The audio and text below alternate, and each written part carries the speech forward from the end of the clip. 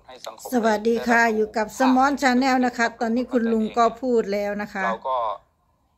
ด้วยความที่เราเป็นอ่าชาวบ้านที่ที่ถูกอ่าสังคมตราหน้ามาอย่างเนี้ยนานแล้ว ก็หลายปี เราก็ได้พิสูจน์ในกระบวนการยุติธรรม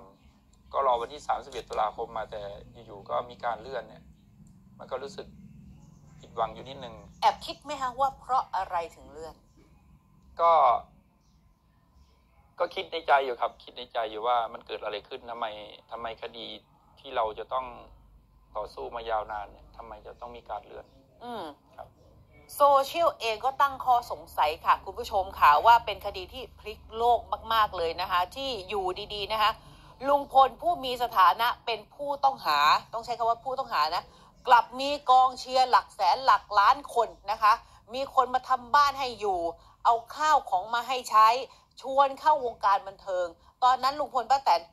งงไหมอะถามย้อนความไปตอนสามปีที่แล้วงงไหมตั้งรับยังไง ก็แรกๆนะครับ ก็จะมีคนดังที่เดินทางเข้าไปที่กกอกค่ะหลายท่าน แล้วก็ชวนไป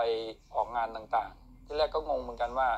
ทำไมตัวเราเนี่ย ถึงมีคนติดตามให้กำลังใจเยอะแยะมากมายอืมแต่ก็เนื่องด้วยที่ อ่าอาจจะลุงพลเคลียร์แล้วนะคะป็นความ FC ที่นะคะสังคมเขาอยากรู้ว่ามันเกิดอะไรขึ้นนี่นะคะที่หมู่บ้านกกอกอืมครับป้าแตนล่ะ รู้สึกอย่างไรบ้างว่าที่จู่ๆเราเองก็อยู่ดูหน้าสื่อวันที่ไปแล้วขอศาลโทษวันนั้นไม่นะใช่คะดูหาได้สื่ดอกไม้ต่อหน้าโซพเชียวงมาลัยนะคะทุกวันเนี่ยดิฉันหันไปเดี๋ยวได้ดอกไม้พวงมาลัยเยอะมากโซเชียลของคุณเนี่ยถ่ายคุณก็แทบจะเป็นลินช่วงช่วงๆลินหุ้ยอยู่แล้วอะ24ชั่วโมงอะก็คือมันคงจะถ้าจะบอกว่าทำไมมันถึงถึงมีคน คอยติดตามให้ความช่วยเหลือ มันก็ต้องอยู่ที่คนที่ดูเรา คนที่ดูเราว่า พฤติกรรมของเราเนี่ย มันเป็นแนวโน้มที่เอ่อมีหมายมีอะไรออกไหมอะไรไหมคือมันมันตรงข้ามกับตรงนั้นไหมคือคนที่เขาชอบเราเนี่ยเขาไม่ดูที่อื่นอืมป้าคิดอย่างนั้นเขาดูที่ตัวเราสองคนว่าพฤติกรรมของเราเนี่ย ควรจะให้กำลังใจ หรือว่าควรจะตำหนิติเตียนหรืออะไรพวกเนี้ย อืมอยู่ที่คนมอง วินาทีแรกขอย้อนเลยนะ วินาทีแรกที่จู่ๆสังคมคือไม่ใช่สังคมสิ มันมีหมายมา บอกว่านี่คือผู้ต้องสงสัย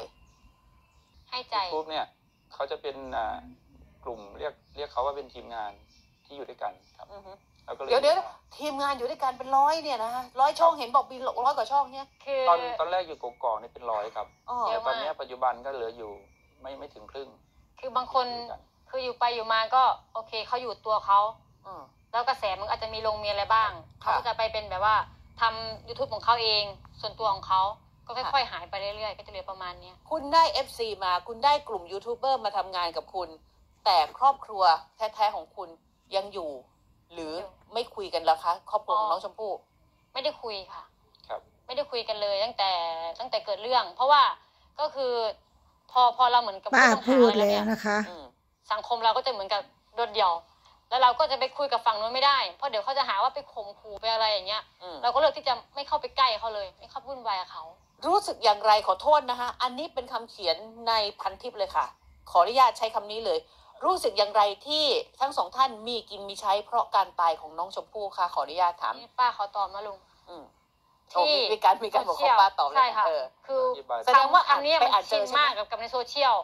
โซเชียลเขาจะบอกว่า เรามีอยู่มีกินเพราะการตายของหลาน อืมอันนี้ก็คือมีส่วน อันหนึ่งก็คือมันเกิดจากการที่ คือแม่แม่ของน้องอะ ค่ะ ไปออกรายการ แล้วก็มีคำเหมือนกับดูถูกว่า ดูเขาสิดูเราสิ คือเหมือนกับว่า ของเรานี่ไม่มีอะไรสู้อะไรเขาได้เลยคำพูดของแม่เขาในวันนั้นเนี่ย มันเหมือนกับการดูถูกพี่สาวตัวเองเราตัวเอง สังคมก็เกิดความสงสารมันแต่โน่นต้นต้นมา แล้วก็ อีกอย่างหนึ่งถึงแม้ว่า จะบอกว่าได้ดีเพราะการตายของหลาน แต่ถ้าโอกาสมันมาแล้ว คุณไม่รู้จักทำมาหากิน ไม่รู้จักต่อยอด ตรงนั้นก็คงจะไม่ถึงตรงนี้ได้ ก็คงจะจบแค่นั้นแหละมันอยู่ที่ว่าเราขยันทำมาหากินไหมขยันเอาตรงนั้นมาต่อยอดไหม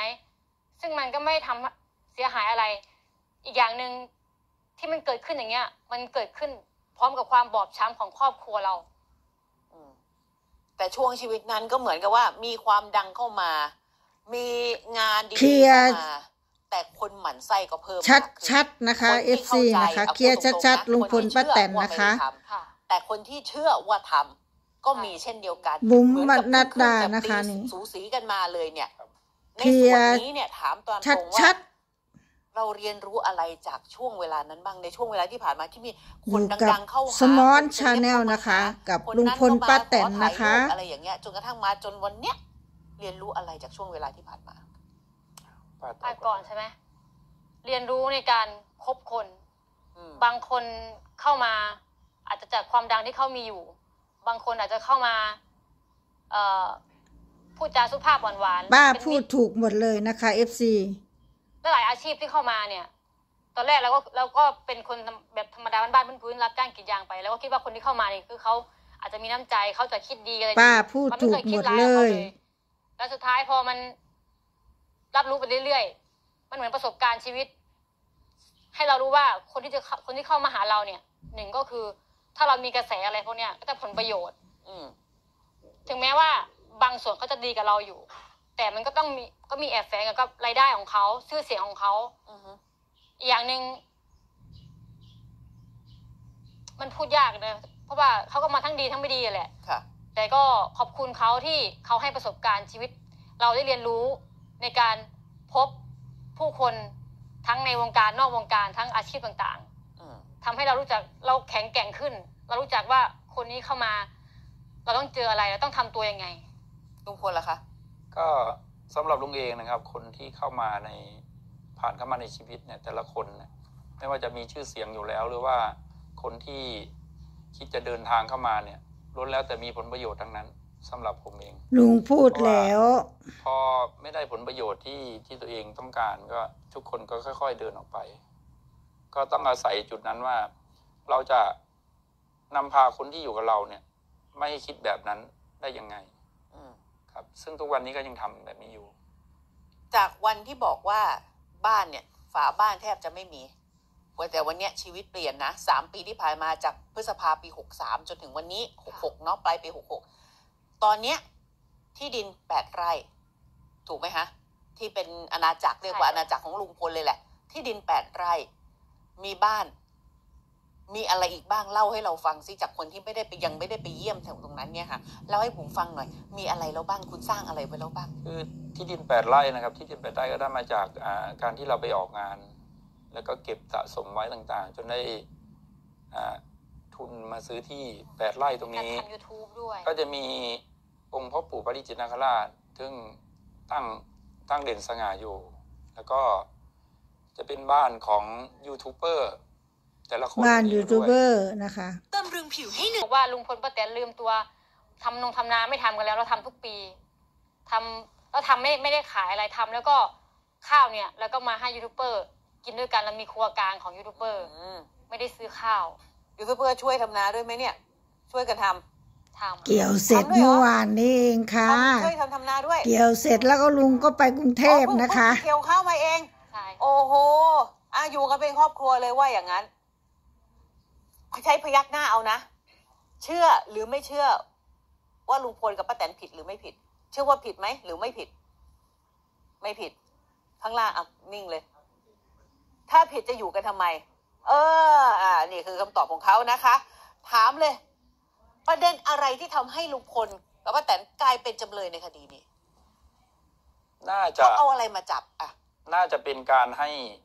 ให้ปากคำหรือว่าการให้ข้อมูล ผ่านสื่ออืมแต่ละคนที่อยู่ในหมู่บ้านเนี่ย ให้การแล้วก็ให้ข้อมูลผ่านสื่อเนี่ยไม่ตรงกัน จนเป็นที่มาคำว่าสงสัยในไทม์ไลน์ของลุงพลอืมว่าช่วงอ่าที่ไปรับพระเนี่ย ช่วงเจ็ดนาทีเนี่ย ช่วงนั้นน่ะ ลุงไปทำอะไร ตอบสังคมได้ไหมคะวันนี้ ตอบได้เจ็คดรับนาทีทำอะไรคะ คำว่าเจ็ดนาทีที่ที่เขาอ่าเอามาเล่นกันเนี่ยว่าอืมลุงหายไปไหนในช่วงที่ขึ้นไปรับพระค่ะการให้ลุงปากไปรับคำพระนะคะ ลุงย้ำเสมอว่าตอนนั้นที่ให้ปากคำกับเจ้าหน้าที่ไป ถ้าระบุเป็นตัวเลขเนี่ย มันอาจจะไม่มันอาจจะไม่ชัวร์แต่การที่สำหรับคลิปนี้ก็อย่าลืมกดไลค์กดแชร์สมอนชาแนลด้วยนะคะ สวัสดีค่ะวัดเท่านั้นเท่านี้ซึ่งตำรวจขอบคุณทุกกำลังใจขอบคุณทุกคนนะคะ เป็นกำลังใจให้คุณลุงคุณป้าด้วยนะคะ สวัสดีค่ะ แต่เวลาที่ที่ให้ไปเป็นเป็นการกะคำนวณ ซึ่งบอกเจ้าหน้าที่ไปแล้วว่าเป็นเป็นการกะคำนวณนะถ้าท่านสมยากอนให้ผชาแนลค่ะ